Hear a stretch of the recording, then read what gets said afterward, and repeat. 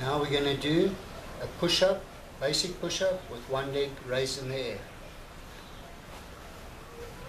Hands sl- slightly wider than your shoulder. Hold your body nice and rigid. Contract your abs, contract your glutes. Feet shoulder width distance apart. Very simple. Raise one leg in the air. Pull your toe back and one.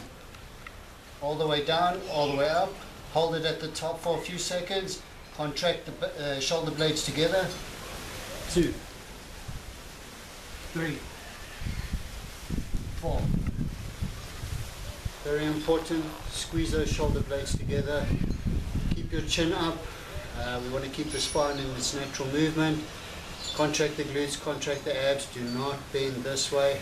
Very bad for the lower back. Have fun.